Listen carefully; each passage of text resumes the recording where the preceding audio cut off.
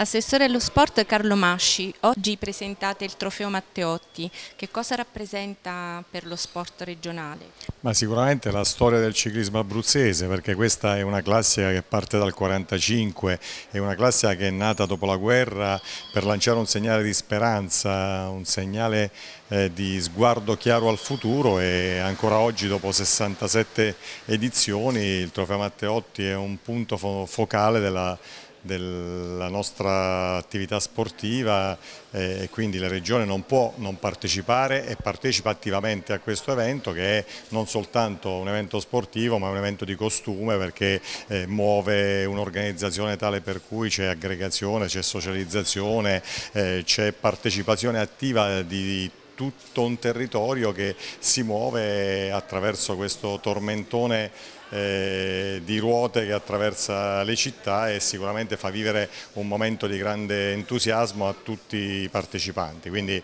eh, queste iniziative benvengano, le, la Regione le sostiene, le sostiene in maniera particolare, soprattutto se pensiamo che il Trofeo Matteotti qualche anno fa ha avuto grandi difficoltà e invece oggi è tornato agli antichi fasti, tant'è che l'anno prossimo si propone per eh, essere, eh, la, il, per essere appuntamento classico del, del, campionato italiano di ciclismo, quindi sicuramente una tappa importantissima e noi siamo fieri e orgogliosi di presentarlo in regione ringraziando l'associazione eh, Perna e Ricci che sicuramente eh, muovono questa, questa classica che oramai è una classica italiana.